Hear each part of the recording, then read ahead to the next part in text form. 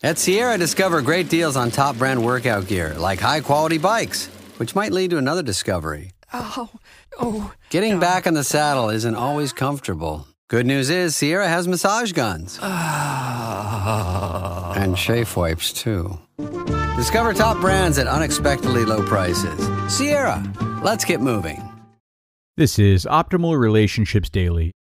Which do you prioritize, urgent or important? By Kristine Klussman of KristineKlussman.com. If you're like most people, you probably spend most of your time handling the urgent demands of life, and the rest of your time doing things that don't really matter. Trolling Facebook, Candy Crush, and bad TV come to mind. We hardly ever make the time for the kinds of activities that have the biggest impact on life satisfaction, the ones that are truly important. But what are these?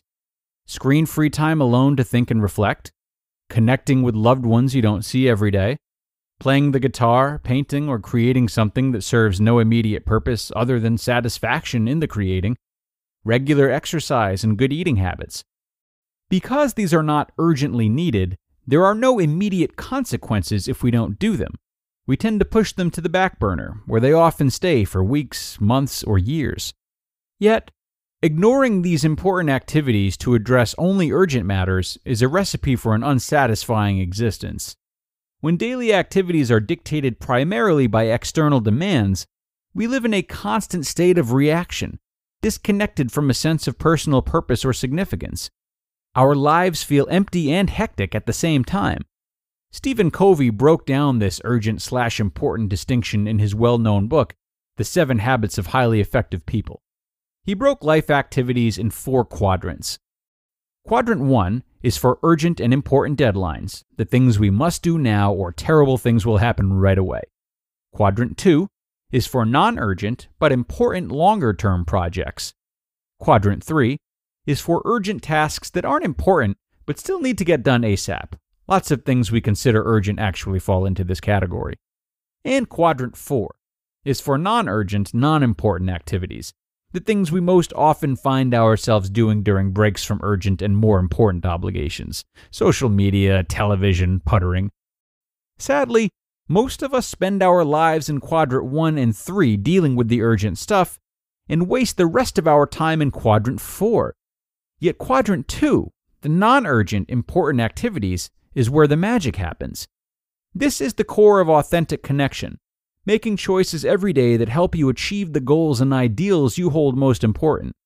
Nurturing your relationships, volunteering for causes you believe in, spending time in nature, journaling, and writing that novel or screenplay you've always wanted to write.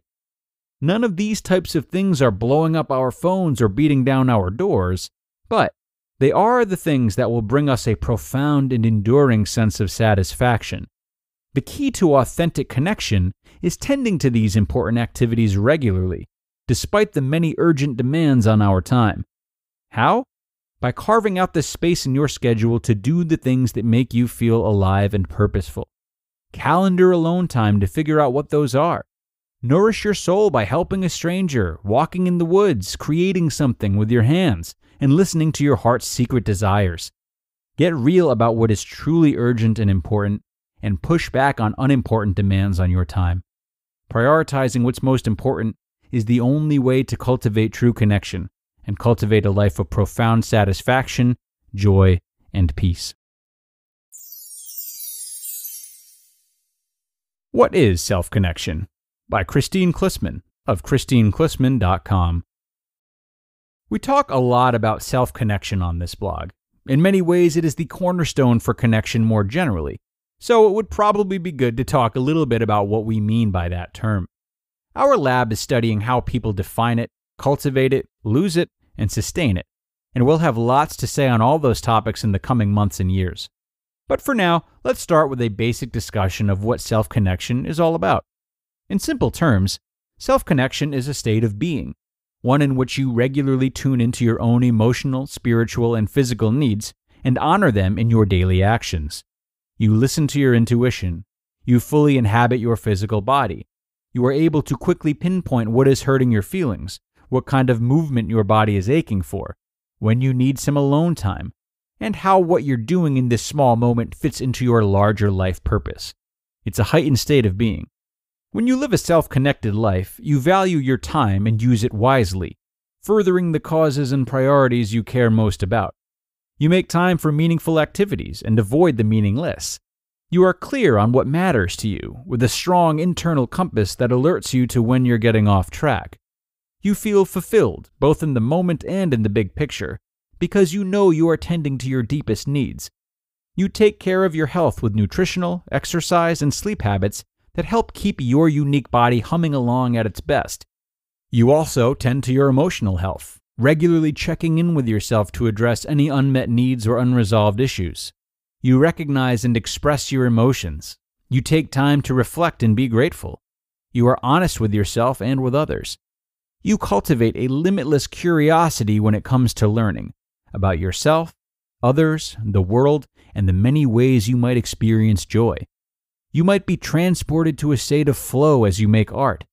You might revel in your oneness with other living things as you walk through the woods. You might not. But you are proficient in the language of you, and you quickly pick up on what works for you and what doesn't. Self connection impacts every area of life, from our mental and physical health to the satisfaction we derive from social connections, work, and hobbies. This is why connection theory interventions all begin by learning to improve self connection. Let's be clear though, no one lives in perfect self connection, in all areas of life 100% of the time. We are, after all, only human. The best we can do is to develop habits that ensure we regularly check in with ourselves, honor our priorities, and help us restore connection when it is inevitably lost or muffled in the clamor of modern life. Across all contexts, the payoff of self connection is the sense of feeling truly and exquisitely alive, fully engaged with the life you lead and welcoming every moment. Your body sings, your mind soars, and you inhabit a world of the most profound and lasting satisfaction. You just listened to the posts titled, Which do you prioritize, urgent or important? And What is self connection? both by Kristine Klussman of KristineKlussman.com. A pair of dandies from Kristine today, and needless to say, they are directly in line with one another.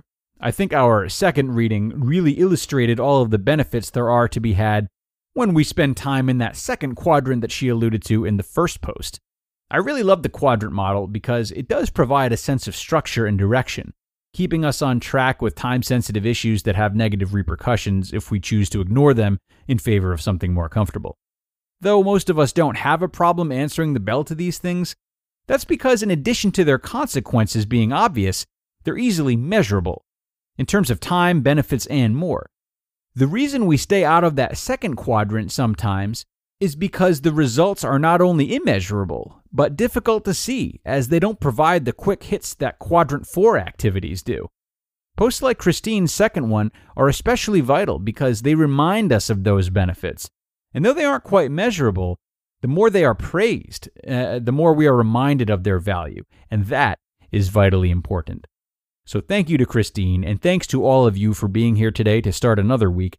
Have a great day, everyone, and I hope I'll see you back here tomorrow for more material and where your optimal life awaits.